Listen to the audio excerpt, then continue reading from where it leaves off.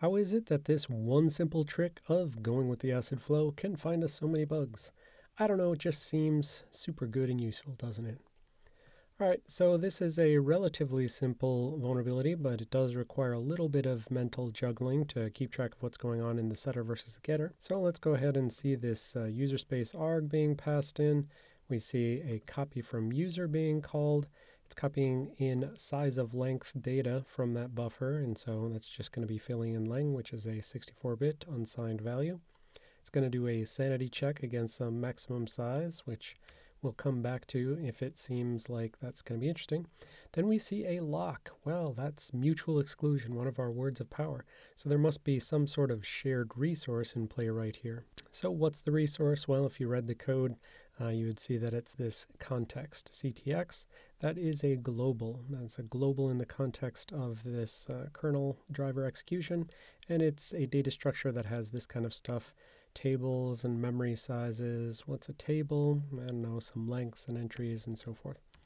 So context is a global structure, and because it's the kernel and because there's opportunities for parallelism, it needs to put locks around that anytime it's accessing that context so that it can't be erased between different things. So this seems fine so far. It's locking the context and it's uh, setting some table length to the size of some other structure. We look at that. This structure has a length. It has 600 entries where each entry is essentially a 32-bit value. We can see it's using that bitwise notation. That colon right there is for saying 31 of those bits are used for offset and one bit is used for valid.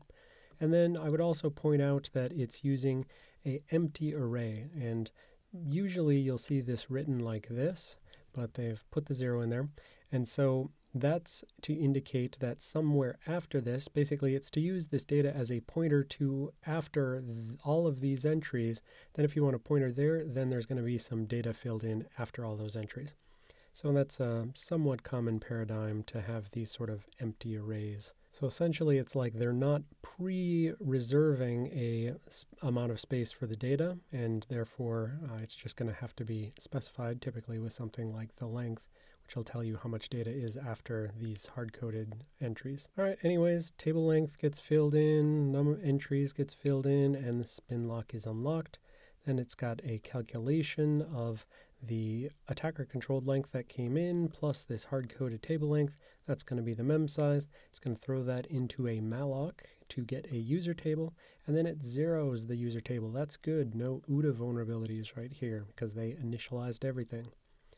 Okay, then it takes that calculated size, the hard-coded size, plus the attacker-controlled size, and copies that into the user table that it just allocated. Now we see another lock, and that means it must be accessing something like context, which is uh, requires mutual exclusion. So now it's accessing context user table, and so it's taking whatever is there, sticking in something called temp, taking the user table that it just allocated and memset and copied from user space, putting that into the context user table. So the global has been updated, and then the temp is set to the local variable, and then it does the mem size into the context and the entry num into the context. Now, this is where the actual problem is going to occur. You know, I could just read through the rest of the code with you, but the expectation is you read the code already. So this is where the problem occurs because if it goes down this control flow path, it's ultimately going to call free on this user table. Now the user table is the old value that was in the global context. So the global context has been successfully updated. But the issue is that the way if we hadn't done that free right here, down here it would have taken that global context, stuck it into this T, and so whatever that T is defined as, this uh, table version struct, that was the thing with the empty array at the end of it. So there we would have taken the T entry and stuck it into the global context table, and the T data and stuck it into the global context table. But if we fall down this error path, we never update these values right here. And this is where the mental juggling comes in, because if we look at all the references to this context table, we'll see that inside of this zr hung get config, which is callable from the uh, get config that uh, was specified in the hints. So this hung config k ioctl get config really mostly is just a wrapper around hung get uh, zr hung get config. And so that calls into this. And so inside of here, there are actually a whole bunch of references to context stuff, most importantly, the data. So we go down here, uh, we can see that it's, you know, checking for is it null. And this again is some good paranoid programming right here. This is just a whole bunch of sanity checks, so that's super appropriate. But eventually, if it bypasses all those sanity checks, it gets to this line, the string n copy, which of course is one of our dangerous functions that we're always super suspicious if we see something like that because there's buffer overflow potential. Well, in this case, we're not worried about a buffer overflow. We're worried about the fact that that data never actually got updated. And we know that if it had gotten updated, that data comes from T, T comes from user table. And so that data entry is that thing that is right after this data structure. So at this point, if we had errored out right here, essentially the even though the user table field of context had gotten updated because the data never did that will still be pointing after this thing that just got freed. And so it's basically a dangling pointer uh, to something to data after a data structure that already has been freed. And consequently any use of this is going to be a use after free. And indeed it is used specifically for a string n copy.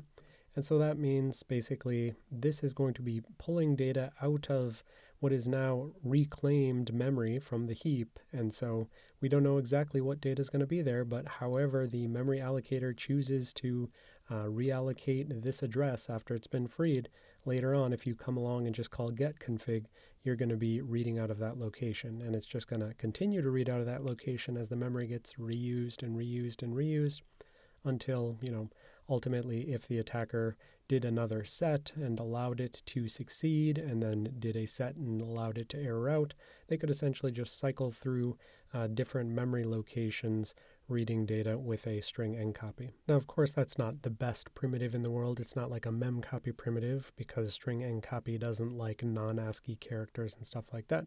But still, it is definitely an information disclosure. And, you know, there's all sorts of secrets in kernel memory that take the form of strings that you would not necessarily want disclosed. Okay, so that was the bug. What was the fix? Well, this is unknown. So the open source versions of the code that I downloaded, I looked through a few of them and I couldn't find a version that had a fix. Like so the specific version that I had you download was for a specific model that was called out as being vulnerable. These were like the the mate 30 and 40. And uh, for those things, I just downloaded what was on their website, and that was the vulnerable thing. So obviously, they didn't uh, update the source code available on their website to have the patch. I also downloaded the what looked like the latest release of something on their open source website, and that was this Mate X2, and that didn't seem to have any fix in it as well. So all we know is the original advisory said Huawei OTA images released after April 2022 contain the fix for the vulnerability. But of course, there's always the question of, you know, did the researcher actually go verify that, or did they just report what Huawei said to them?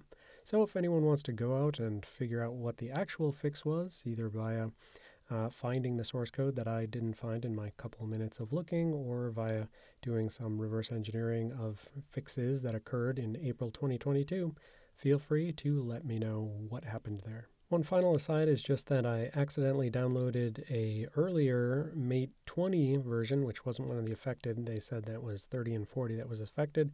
I accidentally downloaded the 20 source code to start with, and interestingly, I saw that this bug with this particular control flow path didn't actually exist in the 20. It uh, basically just you know continued on setting these values.